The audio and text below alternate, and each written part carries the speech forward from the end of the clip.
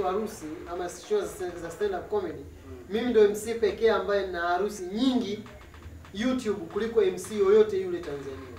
Mm. Na mimi ndo MC wa kwanza kuweka harusi YouTube Mm. kuliko MC yote Tanzania, na baadaye ma MC wengine wengi ambao wame, wamekuja kuniga kwa sababu unajua mimi ndo MC ambaye naonyesha njia.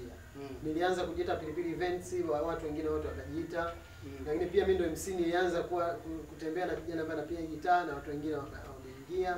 Kwa hivyo najitahidi kuonyesha njia na vijana wengine wana wanafuata.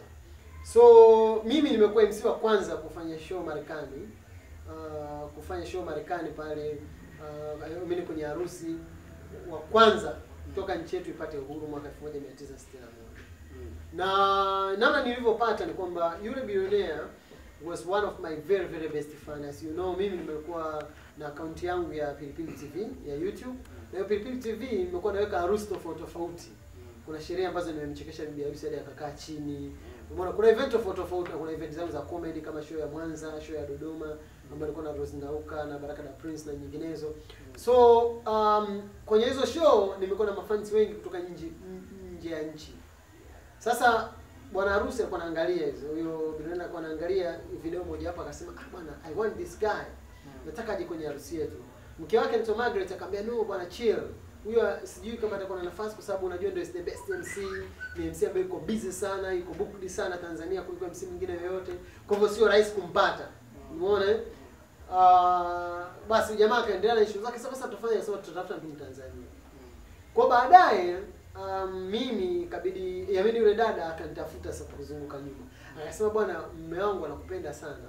Kwa hivyo akasema na mmoja tu Patishia akasema bwana mume wangu anampenda sana MC. Na mimi nataka nimlete MC kama surprise. Eh, kwa hivyo mimi asijue na wala watu wasijue kama Pipi anakuja kuwa MC. Kwa, lakini mara nyingi ma MC wa pale pale wanaongoza wana, wana wanaongoza. Mimi wana, wa Amerika na nini.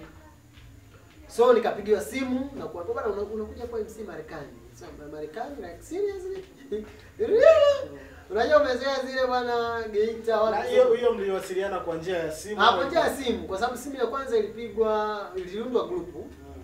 Kuna tena mmoja ambaye yuko hapa hapa hapa hapa nani? Hapa Tanzania. Hata mdogo wake na Patricia, afu Patricia.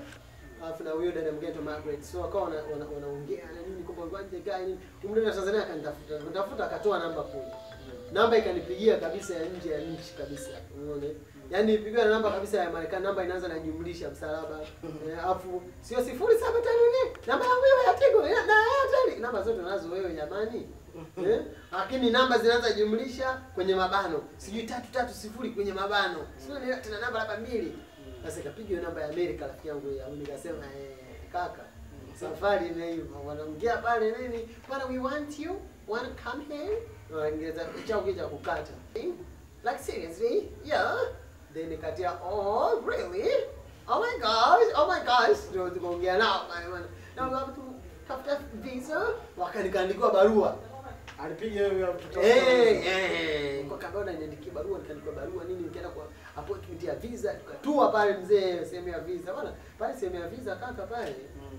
Kaka wewe kwenda Rusi safari zako wapi Iringa, Iringa. Huwezi kwenda kaka Iringa, Tegete, hapo wewe kwenda au Mtwara unataka uwe na sababu tu. Unataka nikamzike shemeji yake na bibi unaenda. Ila pale visa bana bana visa kutoka bana bwana waga sio shughuli. Mm. Eh? Ah, visa kutoka pale bwana watu wanaendaga pale unaingia kwanza milango kama sita, fungua milango mizito ya Kiamerika. Ingia mpaka ndani mule. Mm. Sasa mule ndani bwana, unaweza kukuta mtu anaongea "Hebu ah, kabla hajaitwa hapo. Unajua Yanga bwana, Yanga sio anasumbua nini? Utasikia okay.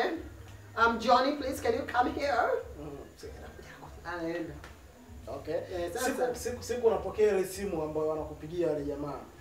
Uli uli ulichukuliaje na ulijiona wapi kupitia kazi zako ambazo umeshazifanya tayari? Ah, kwanza nili niliona sasa now finally because unajua mimi nilisoma Kiingereza British Council na mwaka jana kwa kuanzia mwezi wa 10 wa 11 na 12 na nia yangu ya kusoma Kiingereza ilikuwa niwende, niweze kwenda level za kimataifa kwa sababu nilikuwa naona nimeshakuwa MC local kwa muda mrefu na tofauti na MC wengine ambao ni hapa hapa uh, wa sijui ukumbi wa Flamingo sio hapa, lakini nimekuwa MC wa taifa muda mrefu. Of course ratiba yangu ina ile mikoa, yani nitaperform Arusha, Iringa, sio hapa, lakini kama nataka kwenda kwenye level za kimataifa. For a very long time nilikuwa naona um, marafiki zangu na wengineo kama labda kina Eriko Mondi, unakuta Eriko Mondi ana show labda Marekani, sio nielewe eh? uh, au nani ana show wapi?